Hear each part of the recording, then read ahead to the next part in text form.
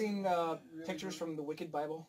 No. No, You're a history. You're a history teacher, right? I doesn't mean I know everything in history. Well, I'm not I- saying you know it. But Brian appreciate Hyland it. would know. You'll appreciate Oh, it. you're really gonna go that route? I think Kristen Clear gonna, would know I'm some gonna things. tag him in this video. Look up, Go ahead. look up the Wicked Bible. They, there was a lot of doodling in the margins. Here's my question. old Bible. Here's my question. You're a theology guy, okay? Mhm.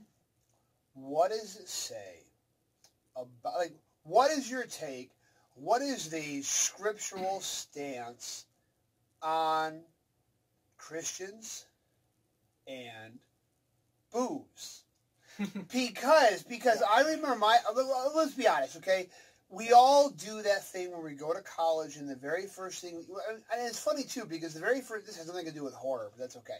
The very first thing you choose to rebel is like the thing that your parents like. Made the most taboo about. So for me, it was always booze. In fact, my parents were convinced. Sorry, Dad, if you're actually watching this. My parents. Hi, Mr. Lucia. my parents were convinced I was drinking long before I was drinking. So Oh. when I finally got fed up, I'm like, you know, I was. I remember. I remember very clearly being at a bar and thinking I might as well get drunk because my parents already think I am. And that. that so we ordered a white wine spritzer. Yeah. No, actually, I think it was Zima. Zima. Zima! it was Zima. So. Um, If you know what that is, don't just leave that. If you don't know what that is, you're too young to be watching this video. yeah. So. Um, That really is. So, I know, it's been a but long then, time. but then later, I remember um, talking. We were. I was in a conversation with my dad and uh, uh, uh, his friend who was a deacon in the church, and then uh, his friend's wife who was from Germany, and she was saying, you know, she's like, I've always been very confused by the American Christian uh, and they're they're uh, uh, adverse to alcohol. They're like, you know, in Germany we have it every night for dinner. Yep. You know, we have it for lunch. It's just part of our culture. There's nothing wrong with it. I mean, sure, you can overdrink just like you overeat, Mhm. but she was like, I, I'm really confused why Americans feel this way. She was the first Christian I'd ever met who was like, Mhm. What is your problem with alcohol? And before we go any further, yes, we know, especially if you've watched some of our videos. O- obviously, alcohol has a mood-altering uh, effect to it, but I mean, there's a lot of things that have mood mood-altering effects to it. Uh, sugar does, caffeine does, smoking does. Lots of money. Right. um, and I think for a long time I did not drink at all, or I felt really bad about drinking because of kind of my Baptist upbringing. But I know Chuck not only is an engineer, not only is he a science fiction fantasy horror writer And a cover model. and a cover, he also has Maybe a not. background in theology and Yeah. hermeneutics. Is it? Or well, I mean, hermeneutics would be part of the study, but Okay. apologetics. So, what is your scriptural take regarding the uh, uh, consumption of libations? Well, you already. As I consume my libation right Yeah, now. I, have to already finish my libations. Down to the chocolate bar. Um, you already said the key word, culture. It, it's a cultural thing.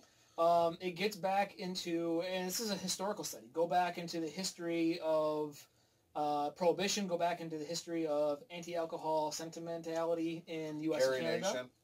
Yep. Um, this goes back all the way into the 19th This century. could be dangerous. You're a theology expert and you're a history expert. This could take a while. Go ahead. No, I'm not going to take long. This is is strictly cultural.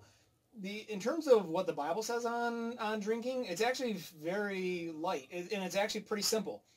Don't get drunk. It's it's really much. It's not obviously not anti-alcohol because Jesus is drinking wine. Right. Uh, he wine is- wine. Yep, Yep. wine is part of the, the ceremonies that are that are in there. Um, historically, it's been very common. It's more of a don't go too far. Right. And and my guess on it, because it doesn't say explicitly, is that it has to do with the fact that once you go too far, you make yourself prone to making bad decisions. Right. And so that's what the key is. So in, in my mindset, it's really about don't put yourself in a situation where you're going to do something that you regret or that others regret. That- That's how I met my wife.